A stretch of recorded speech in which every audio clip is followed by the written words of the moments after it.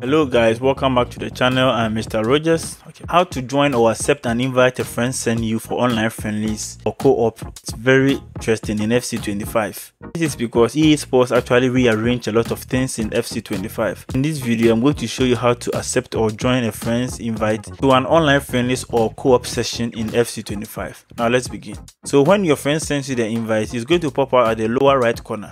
For instance, my friend is going to send me an invite I'm going to show you how it is. So when your friend sends you the invite, it's going to pop out at the lower right corner of your screen. As you can see, you can see a red dot with one written inside. Now you press the RT button or R2 button on your controller to pop out this menu. Now you move to party. Now here is the tricky part. Usually it has to be here. Now this is not the party channel that we want. This is the invite. As you can see, they've written invite. This is where you are going to accept the invite, not in the party members. There is a difference. If you want an in-depth tutorial on the party channel invite, there's a link in the description below. So you just go ahead and go to the invite section. As you can see, FC25 invites.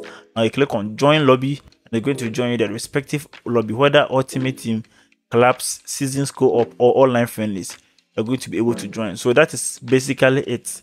Now if this video was helpful smash that subscribe button. Thanks for watching and see you in the next video. Bye bye